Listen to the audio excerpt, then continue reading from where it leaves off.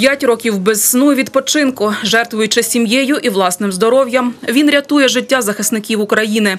Це про лікаря-травматолога Дніпропетровської обласної лікарні імені Мечникова Івана Жердєва. Він отримав орден святого Пантелеймона у номінації Кращий лікар України. Через руки завідувача ортопедо-травматологічного відділення пройшло більше п'яти сотень бійців. Саме лікарня імені Мечникова однією з перших почала приймати українських захисників із зони бойових дій на Донбасі у 2014-му. У медзакладі досі пам'ятають, як приймали перших поранених на війні.